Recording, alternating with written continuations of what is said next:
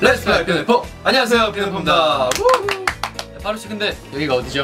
네, 이곳은 바로 KBS 라디오 스튜디오인데요. 네. 저와 공찬 씨가 KBS Cool FM K-pop Planet special MC를 맡아서 이 자리에 함께하게 됐습니다.